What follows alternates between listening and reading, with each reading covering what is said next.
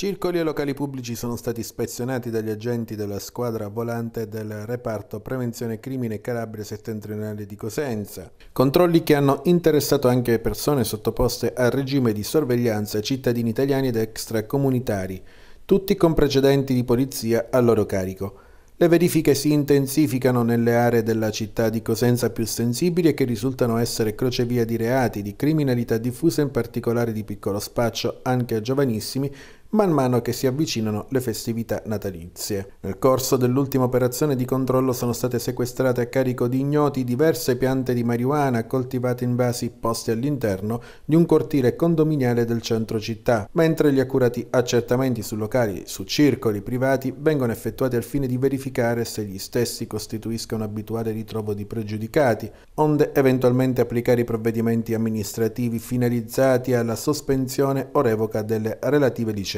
scienze.